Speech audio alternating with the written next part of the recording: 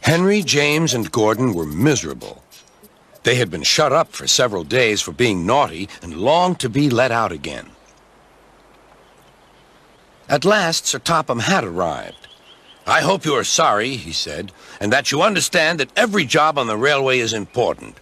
We have a new tank engine called Percy, who helps pull coaches, and Thomas and Edward have worked the main line nicely. But I will let you out now if you promise to work hard.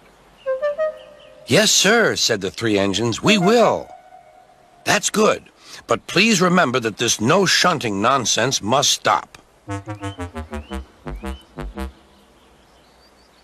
Sir Topham Hatt then told Percy, Edward, and Thomas that they could go and play on the branch line for a few days. And they ran off happily to find Annie and Clarabelle at the junction.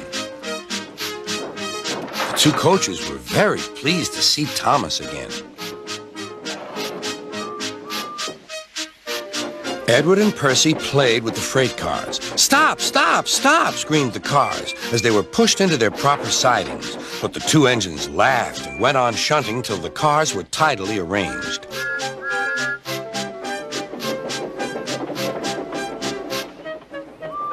Next, Edward took some empty cars to the quarry. Percy was left alone. He didn't mind that a bit. He liked watching trains and being cheeky to the other engines. Hurry, hurry, hurry, he would call, and they got very cross.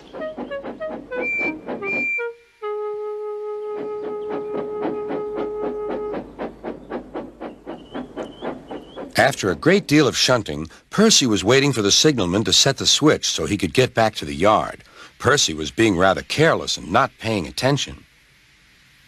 Edward had warned Percy, be careful on the main line, whistle to the signalman that you are there. But Percy didn't remember to whistle, and so the busy signalman forgot him. Percy waited and waited. The switch was still against him, so he couldn't move. Then he looked along the main line. Beep, beep! He whistled in horror, for rushing straight toward him was Gordon with the express. Oh! groaned Gordon. Get out of my way!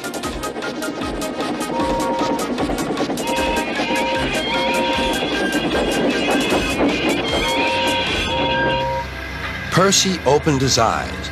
Gordon had stopped with Percy's buffers just a few inches from his own.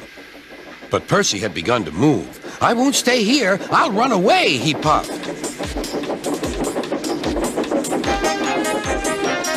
He went straight through Edward's station and was so frightened that he ran right up Gordon's hill without stopping.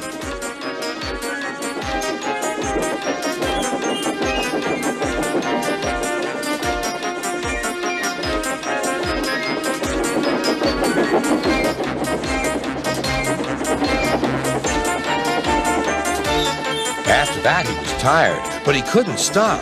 He had no driver to shut off steam and apply the brakes. I want to stop! I want to stop! He puffed. The man in the signal box saw Percy was in trouble, so he kindly set the switch. Percy puffed wearily onto a nice empty siding, ending in a big bank of earth. He was too tired now to care where he went. I want to stop! I want to stop!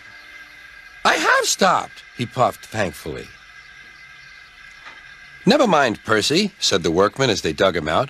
You shall have a drink and some coal, and then you'll feel better. Presently, Gordon arrived. Well done, Percy. You started so quickly that you stopped a nasty accident. I'm sorry I was cheeky, said Percy. You were clever to stop, replied Gordon. Then Gordon helped pull Percy out from the bank. The two engines are now good friends, but Percy is always most careful when he goes out on the main line.